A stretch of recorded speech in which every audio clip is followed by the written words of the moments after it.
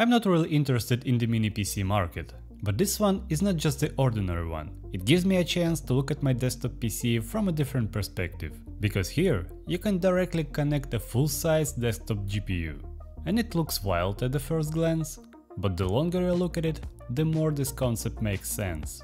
And when they offered to send me a sample for a review, without any conditions, requirements or financial compensation, of course I agreed. So keep in mind that I did not personally buy it, but my review will not be affected in any way. They currently have 3 mini PCs from the GTI series that are compatible with this docking station. Two of them are based on the newer Core Ultra CPU series and the third is an i9-12900H. All of them have 32 gigs of RAM and 1TB SSD. I have the last one of them and since everything about this CPU has been known for a while now, I will not go into its testing, but rather tell you how this mini PC handles it. At peak load, it will consume 65 watts, and the CPU temperature can reach over 85 degrees. But still, it will be relatively quiet. I don't know about you, but for me this is very important. I even built my PC focusing on quiet usage. So here's an extra point for the cooling system and a point for the looks. Such a PC is aesthetically pleasing to keep on my desk. The first time I turned it on, the Windows was pre-installed and activated, but it was rather a limited version that didn't even require authorization and worked with a local profile. I wanted a full version, so I reinstalled it. And that turned into a problem because it wasn't easy to find drivers. I googled them and got to a blank page on their website. And under the support tab, there is an endless loader. So if you don't want to suffer like me, it turns out that you have to click here and then you can find the necessary drivers. The Wi-Fi performance is quite strange. Speed test shows different results each time, from pretty bad to relatively good. But as soon as I start an online game, I have a terrible ping and a frequent disconnects, and reinstalling drivers doesn't help. So if you're an owner of the same PC, please write in the comments how does it work for you. For now, I solved this problem by simply connecting a network cable. A built-in SSD could be better, especially at disk writing speed. For example, during the installation of the game, SSD was loaded at 100% and Windows may freeze at some moments. But here's how the installation of the same game looked on a different SSD. But if you want, it can be replaced, or even installed an additional SSD in the M.2 slot. But to do so, be prepared to reach deep inside of the device. And this will not be easy for the average user. Even I got stuck at some point too, but in general, it takes about 15 minutes to complete it. The RAM can also be replaced or upgraded, but I think that for the vast majority, 32 gigs of RAM will be enough. Let's move on to the ports, which are plenty here, including USB 4 on the back, so we can connect the hub or even eGPU to expand our gaming experience. After all, on the integrated graphics, especially on my 12900H variant, the list of games will be quite limited. But it doesn't make sense to use Thunderbolt eGPU on this PC because there is a special slot for connecting their docking station, which will have several advantages. There is a built-in 600W power supply, which is enough for any GPU that we have today. You can plug in an additional M.2 SSD. And this connection uses 8 PCIe 4.0 lines, which means it will give you 2 times more bandwidth speed than the Oculink eGPU and over 5 times more than the Thunderbolt eGPU. And if you think I'm not good at math and 128 divided by 40 will be more than 3 times, it means you haven't watched my video where I break down the actual bandwidth speed of the Thunderbolt connection for the eGPUs. While we're not far away from the theory, I will remind you that many older GPUs are based on PCIe 3.0, so if you connect it to this docking station with 8 lines, you will get bandwidth speed like an Oculink connection with the graphics card on PCIe 4.0. I hope I haven't confused anyone here.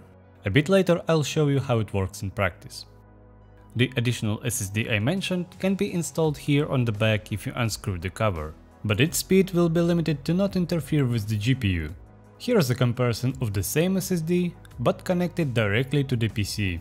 Also you can install a Wi-Fi module instead of the SSD using the adapter that comes with the docking station. And here is the power supply itself. In case you're wondering, these little fans can be heard only for a second when we turn on the power. it's pretty easy to assemble. We connect the mini PC to the docking station, connect the GPU and use the cables that came with the docking station. Only in case of RTX 4090, where you need 3 pin connectors, you'll need to prepare a cable adapter based on their response. I'm not sure how safe it is, considering that one 8 pin connector is designed to provide 150 watts. But you can't safely mount it there if your GPU is more than 2 slots wide. Anyway, our PC is ready now. There are a few things that I don't like in this construction. Protruding cables from the GPU, but of course you can try to hide them, and the presence of two power cables. But I wish that mini PC could be also powered by the docking station. And as a result, we have two power buttons. First you need to turn on docking station, and then mini PC itself. But if you, just like me, can handle pressing two buttons in sequence, you will have a capable machine which in theory can replace a desktop PC. And I have a relatively budget PC at home, based on i7-12700K with 32 gigs of DDR4 memory. It cost me around 650 euros without GPU, which is just in the same price range as this mini PC. But our PC without fancy case, RGB lightning, Wi-Fi, Bluetooth, and also it has fewer useful ports because I had to chip out on everything, including the motherboard. There will be no Type-C, USB 4 and Ethernet port will be 1 gigabit instead of 2 by 2.5. So the only thing is left to find out is what will be the difference in performance and is there enough bandwidth in the docking station for the GPU. There will be two GPUs for benchmarks, the RTX 4070 Super as an example of PCIe 4 and a couple of games will be on RTX 2060 which has PCIe 3.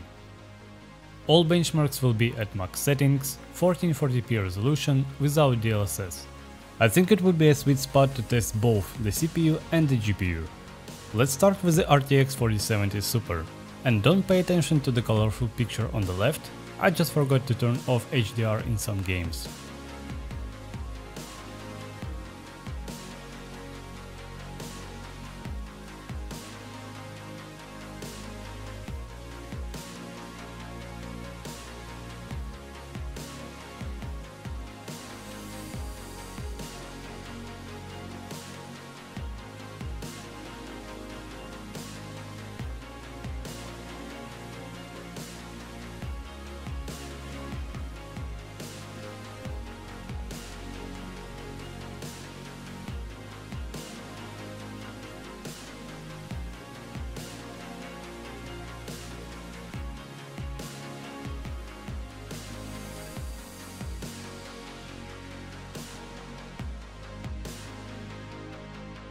And the RTX 2060 became a bottleneck.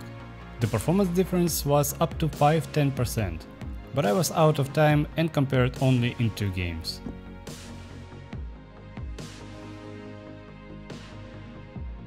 Honestly, I was surprised by the results. First of all, I expected a bigger performance difference between CPUs in games. Secondly, even a GPU on PCIe 3.0 had enough bandwidth. I even tried one of the worst games for the eGPU, Battlefield 2042, and I didn't notice any problems either. I think it's time for conclusions. This mini PC can be a good fit for both mini PC enthusiasts and those who don't want to personally build a desktop PC. It can be considered as a pre-built PC, where all you have to do is plug in a GPU. But I also realized that many of you can be interested in just mini PC without docking station. But in that case, I'd look at options with a more powerful APU. After all, the 12900H is a few years old already. This mini PC has everything to interest me. It has great design, and at the same time unique idea of connecting the GPU. It has no problems with performance and still manages to work quietly. Compared to the desktop option I put together, you can even justify the price. My only complaint would be the Wi-Fi module. And I don't know if the problem is hardware or software. Maybe that's the reason why we can install a Wi-Fi module with antennas in the docking station. And of course, I would be interested to know what do you guys think about this concept. I've been using it for over 3 weeks as my main PC, and I don't mind to keep using it.